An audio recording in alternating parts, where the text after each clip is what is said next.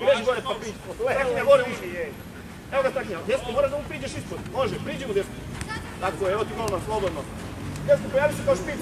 Evo ga desko, priđi kao špic. Može. Bravo. Ti imaš leđa. Ide, otvori dole, Peco.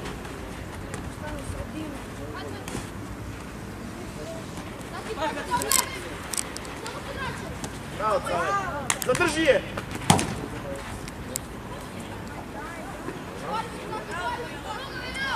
Okreni.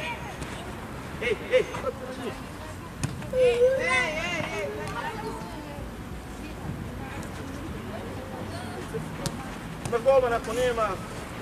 Evo ga peca, gotovo, sigurna. Tako je, razvuci ovdje peca. Imaš tačan peca. Tako je, gledaj odmah desko. Odlično, odlično. Završi sad kad treba.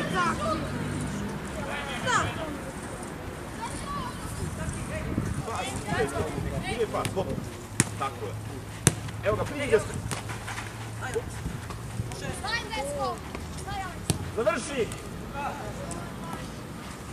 Ovo opet tamo šut. Može. Probaj, probaj. Igraš, evo ga, dole. Evo ga, uključuj igrače. Faul. Igre, igre, kako to? Vrati povratnu. Ako je okreni stranu, Pecu uključi se. Uključi, evo Peca, Peca, Peca. Golman ide, razvuci, raširi Pecu. Imaš brže pas na Pecu dok još nije.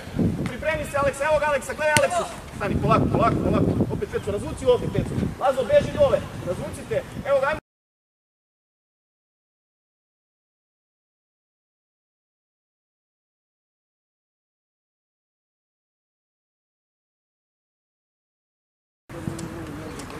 Povratna! Tako je! Evo ti Peco! Tako je!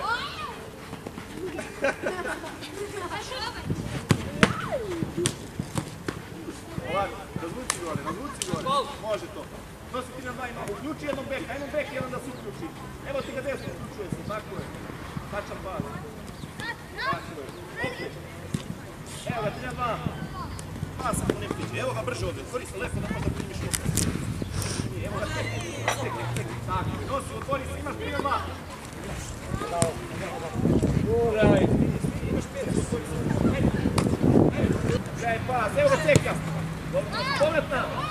Bravo. Idemo, može.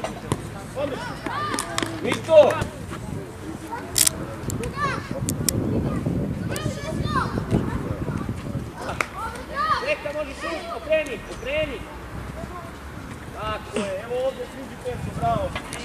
Ajmo se gore, Lazo. Lazo, pripremi se. Beži pa prići.